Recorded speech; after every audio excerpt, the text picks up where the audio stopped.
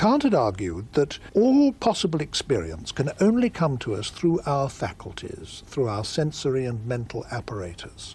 And therefore, what we could experience depended not only on what there is out there to experience, but also on the nature of the faculties that we possess what our faculties could handle, what they do to what they handle, how they handle it, and so on.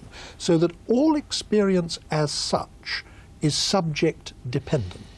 And he went on from that to argue that therefore we could see total reality as being divided into two.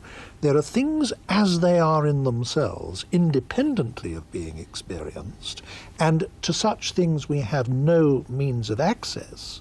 And then there's things as they appear to us, the world of appearances, the world as it comes to us through experience, and that's what we know. That's the world of common sense, the world of science, the, our total world.